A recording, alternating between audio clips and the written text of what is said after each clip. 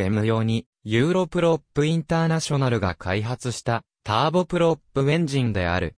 イギリス、フランス、ドイツ、スペインが参加する国際共同事業で、西側では最も高出力のターボプロップエンジンである。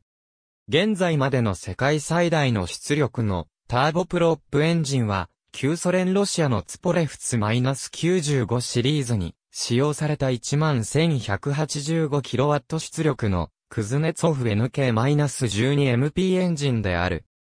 ユーロプロップインターナショナル TP400D6 エンジンパリエア賞2009にてエンジンは二軸のガス、発生機と3番目の出力軸がある。8羽で5.3メートル径の複合材製プロペラをギアボックスで減速して回転させる。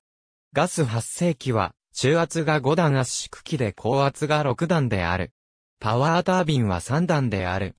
タービン入り口温度 1500K、圧縮比は約25、1で最大出力 1690shp を発揮する。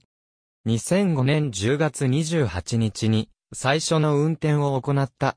2006年2月28日初めてプロペラを回転させた。しかしながら、試験段階で燃焼室の性能に問題があることが発見されており、C-130 テストベッドに装備しての飛行試験は大幅に遅れ2008年後半となった。本エンジンの開発の遅れを主因として、エアバス A400M の実用化も大きく遅れている。2016年からは量産型としてセビリア工場などで生産が開始された。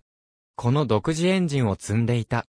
TP400D6PDB プロペラのギアボックスの構造 TP400D6 エンジンの作業分担は国別の出資率に比例する。8カ国が174機の A400M を注文している。内訳はドイツ、フランス、スペイン、イギリス、トルコ、ベルギー、マレーシアとルクセンブルク。ありがとうございます。